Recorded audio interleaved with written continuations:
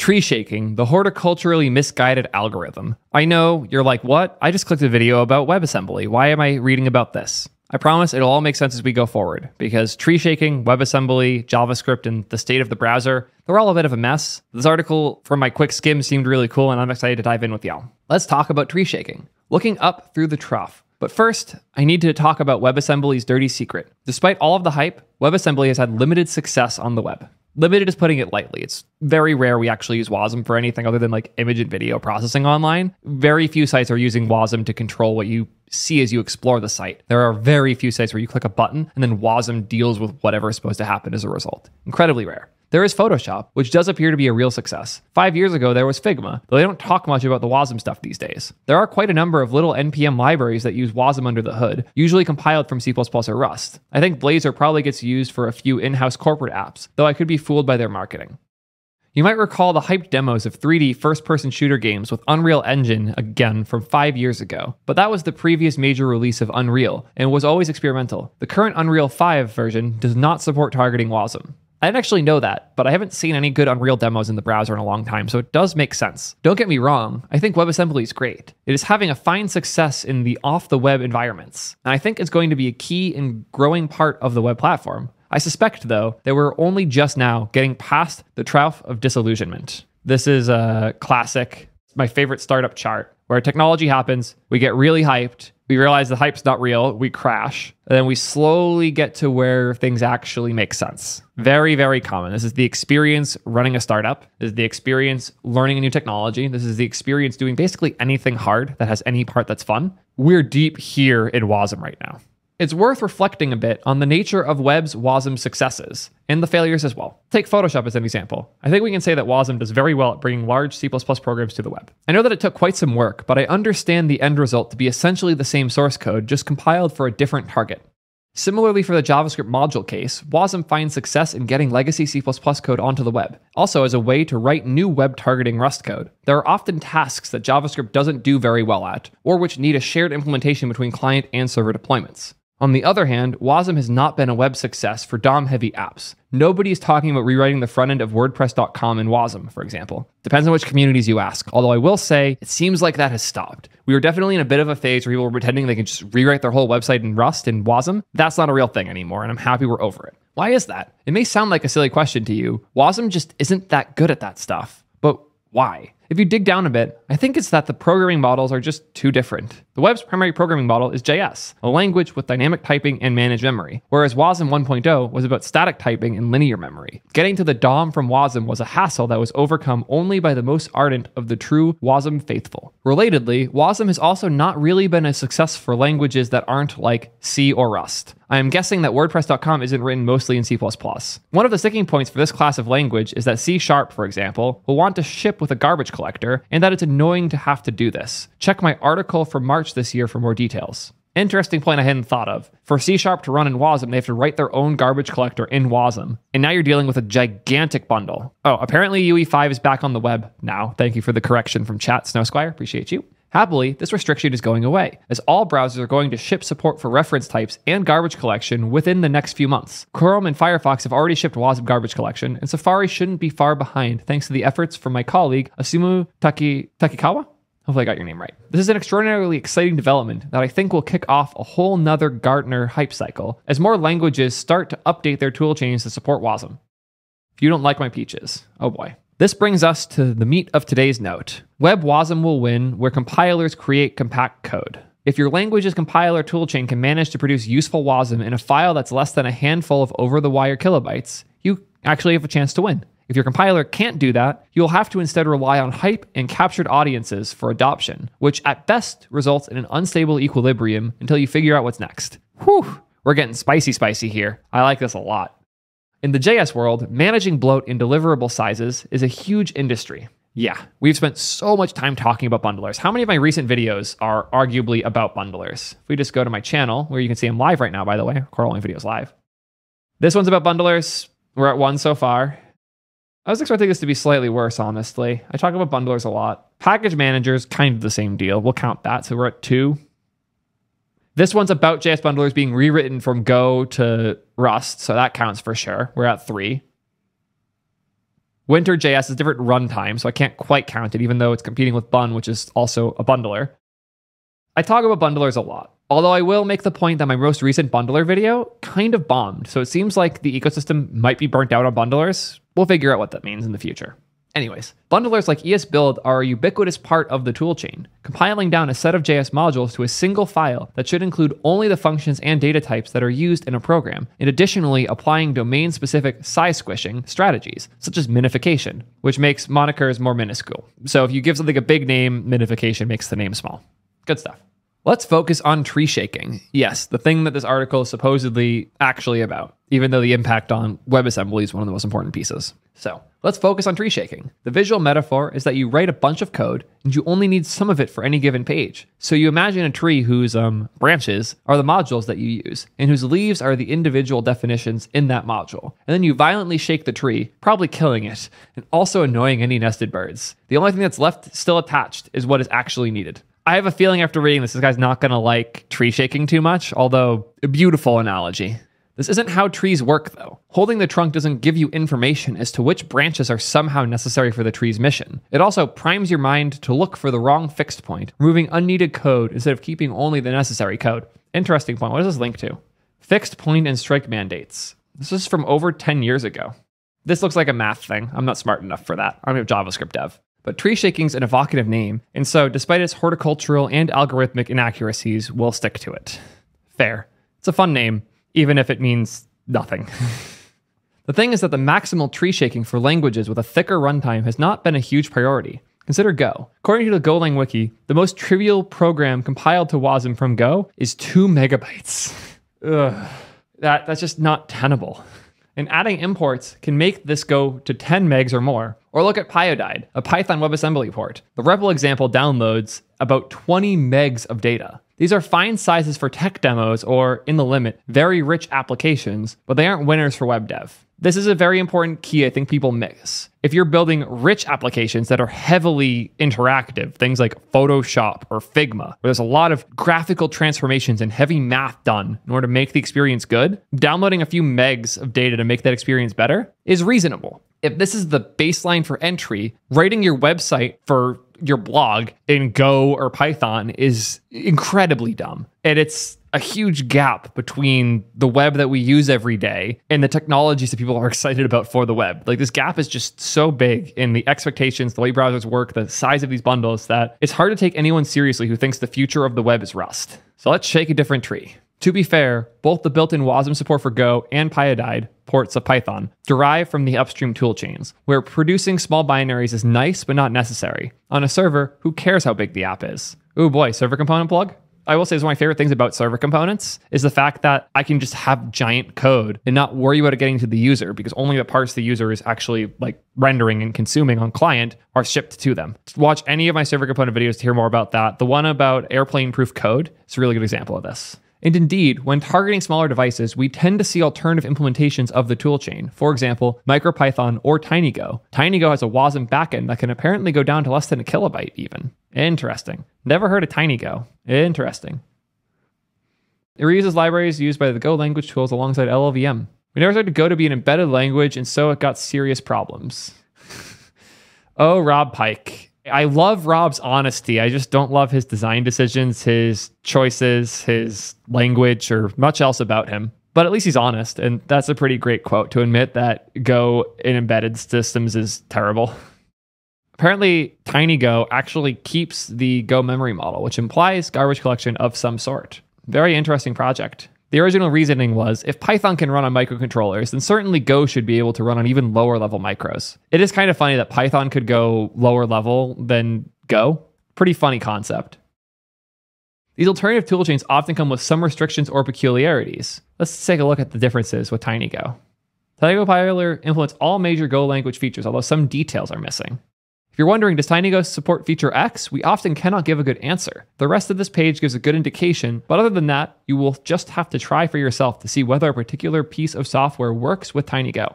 So Cgo isn't going to work great. Reflection, uh, yeah, it, there's a custom reflect package that's been re-implemented and it mostly works. Maps generally work fine, but maybe slower than you expect them to be. There are a few reasons for this, one of which is that some types, like structs, may internally be compared using reflection instead of using a dedicated hash compare function. There's a bunch of standard library stuff that is not supported, but uh, they have a list of the things that do compile. But compiling does not imply that it works entirely. Oh boy. Garbage collection. Generally works fine, but may not work as well on very small chips and on WebAssembly. It is also a lot slower than the usual Go garbage collector. Good to know. So it does work on WASM, but not as well, and it's also very slow. So we just saw there are definitely some differences here. And although we can consider this to be an evil of sorts, it is to be expected that the target platform exhibits some co-design feedback on the language fair point. I do think that we've been spoiled nowadays that like Windows, Mac, and Linux are finally getting to a point where we can target them without having to write too much custom code for each one. But we're like just getting there, like just barely. So the idea that the platform, in this case, the web and WASM, should have some say over the language, yes, but also, ugh.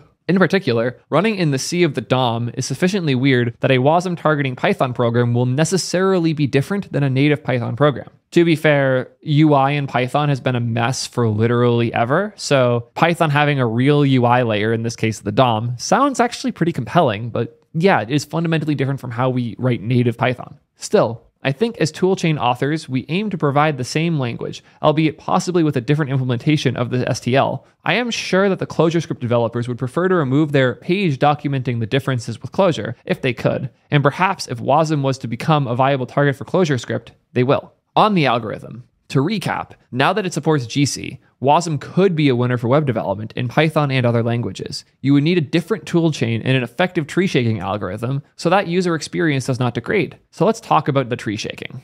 Oh boy. I work on the Hoot Scheme compiler, which targets WASM with garbage collection. Is this guy a scheme guy? Are you kidding? I also love when you're not signed into GitLab, there's the why GitLab button because they're trying so hard to pull people over. Hoot is the code name for the Guile WebAssembly project launched by the Spritely Institute. In addition to the compiler, Hoot contains a full WebAssembly toolchain with a WAT parser, an assembler, a disassembler, an interpreter, etc. Is Guile like the new Scheme? Yeah, it's an implementation of Scheme. Yeah, they, they really are putting Scheme in the freaking browser. Regardless, if this guy's putting Scheme in the browser, he knows what he's talking about. This just way overqualified him for every other point he said. This is going to be fun. So he's working on the Hoot Scheme compiler, which targets WASM with GC. We managed to get down to 70 kilobytes or so right now in the minimal main compilation unit, and we are aiming for lower. Auxiliary compilation units that import runtime facilities, the current exception handlers and such, from the main module can be sub kilobytes. Being sub one kilobyte for a module in WASM, that's actually pretty huge. Getting here has been tricky though, and I think it would be even trickier for Python. Some background, like whiff or whiffle? What the fuck's a whiffle? You scheme people are insane. So whatever Whiffle is, some other alternative to scheme, or some other scheme-based thing. The Hoot compiler prepends a prelude onto user code. Tree shaking happens in a number of places. There's partial evaluation, which will evaluate unused bindings for effect, possibly eluding them. Or eliding. Yeah. Why does this guy like these words? Overall, this has been a very readable article, but what the fuck's eliding? Fixing let rec will do the same. CPS is like something about call. So they're checking to see how often things are called, following only reference functions, values, and control edges, like renumbering. There's an explicit dead code elimination pass which tries to elide unused effect free allocations, a situation that can arise due to other optimizations. Finally, there's a standard library which is written in rawish WASM, whose definitions, like global, tables, imports, functions, etc., are included in the residual binary only as needed. Generally speaking, procedure definitions, like functions and closures, are the easy part. You just include only the functions that are referenced by the code. In a language like Scheme, this gets you a long way. However, there are three immediate challenges. One is that the evaluation model for the definitions in the prelude is let rec star. The scope is recursive but ordered. Binding values can call or refer to previously defined values or capture values defined later. Evaluating the value of a binding requires referring to a value only defined later, then that's an error. Again, for procedures, this is trivially okay, but as soon as you have non procedure definitions, sometimes the compiler won't be able to prove this nice only refers to earlier bindings property. In the case that fixing letrec reloaded algorithm will end up residualizing bindings that are set, which all of the tree shaking passes above require the delicate DCE pass. Okay. I knew early into this paragraph that this was smart people speak, but by the end, yeah, If I understand correctly, this is saying that it's hard to know if a value is actually being used unless it's within a isolated procedure. Ooh, Krish is here helping too. Finally, smart compiler people. CPS goes to the one process child. Never mind. Thought you were going to be helpful, Krish. My mistake. I saw your name, I saw the abbreviation, and assumed you were going to be helpful. Well, I got trolled. I'll take the L. Worse, some of these non procedure definitions are record types, which have V tables that define how to print a record, how to check if a value is an instance of the record, and so on. These V table callbacks can end up keeping a lot more code alive, even if they are never used. We'll get back to this later. Oh boy. Similarly, say you print a string via display. Well, now not only are you bringing in the whole buffered IO facility, but you're also calling a highly polymorphic function. Display can print anything. There's a case for bit vectors, so you pull in code for bit vectors. There's a case for pairs, so you pull in code for that too. Yeah, the thought that display can print anything means you either have to rewrite display to display different types, or you just deal with it and import everything because display could display anything. Ew. One solution is to instead call write string, which only writes strings and not general data. You'll still get the generic buffered IO facility, though, even if your program only uses one kind of port. This brings me to my next point, which is that optimal tree shaking is a flow analysis problem. Consider display. If we know that a program will never have bit vectors, then any code in display that works on bit vectors is dead. And we can fold the branches that guard it. But to know this, we have to know what kind of arguments display is called with, and for that, we need higher level flow analysis. Problem is exacerbated for Python in a few ways. One, because object oriented dispatch is higher order programming. How do you know what foobar actually means? Depending on foo, which means you have to thread around representations of what foo might be everywhere into everywhere's caller, into everywhere's caller's caller, and so on. This is a very important point. I've covered static Hermes a bit in the past, so if you're somehow not familiar with static Hermes, it's a JavaScript compiler that compiles your JS to basically be native assembly code. This example here is from the presentation. You can watch my whole video about static Hermes. I'm sure if you search Hermes Theo, I'll come up pretty quickly. The goal here is to show that you kind of need type safety in order for this to work. Because if you're dealing with all the different types of data that can pass around and you're doing that at a low enough level, things get messy. The other problem is what Python is dealing with there, where if your language is unsound and you want to figure out what is and isn't being used, it's really difficult to do such. In Hermes, in static Hermes, the solution is to have really strict compiler rules where you have to have type definition so that the compiler knows what the data is actually shaped like and what it actually is supposed to do. So it's weird to think in order to use the static JS compiler to make your JS faster, you can actually write JavaScript. You have to write Flow or TypeScript because you need the type definitions in order for this to work and behave as expected. Crazy when you think about it, but it, it does make sense and it is important that they're handling these problems because we need this to work. We need this to work well, which again is what makes this so interesting is that since these languages we want to use don't have these strict definitions, compiling to figure out what we do and don't need is nearly impossible. If we don't have that data included in our code definitions, it doesn't exist. So now we have to generate it. And that generation is an incredibly difficult challenge that seems like everyone else is struggling with here too, specifically the idea of higher level flow analysis. Secondly, lookup in Python is generally more dynamic than in Scheme. The next point he makes is even more things that are hard because Python's dynamic. And since Python's dynamic, we don't have any idea what it needs almost ever.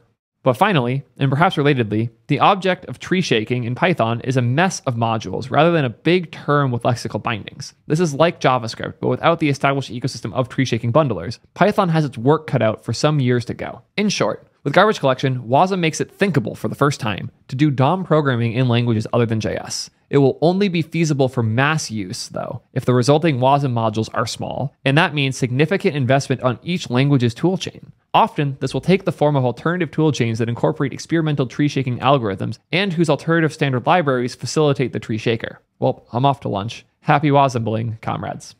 This is a phenomenal post. This was from back in 2023, near the end of the year. Yeah, Wingolog, you killed it. This was dope. Yeah, I had suspicions and beliefs about a lot of these things, but I did not think anywhere nearly this strongly about it. Yeah, definitely recommend checking out his blog if you're curious. There's a lot of cool stuff here. Links in the description as always. That was a great article. I was always skeptical of WASM in the browser, but yeah, this puts my points better than me and shows even more challenges I hadn't imagined yet. Curious what you guys think though. Is the future one where we have more WASM in the browser and we're using other languages, or are we stuck with JavaScript forever? Let me know what you think and definitely check the blog out. Until next time, peace, nerds.